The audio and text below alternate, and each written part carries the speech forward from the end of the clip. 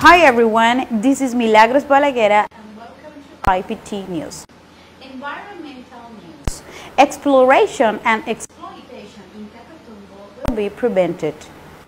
The Fifth Cucuta Civil Court did not protect the fundamental right to the due process invoked by Jose Vicente Salcedo Valdion in an action brought against Corponor and thus keep suspended the licenses that had already been granted for the exploitation of open pit coal in La Gabarra and Rio de Oro.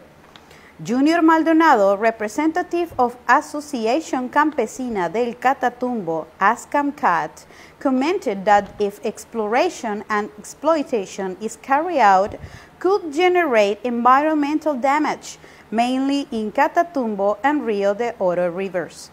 And the pollution could also put in danger Maracaibo Lake. Thank you for joining us, and remember, you can watch us every weekend on TV Cucuta.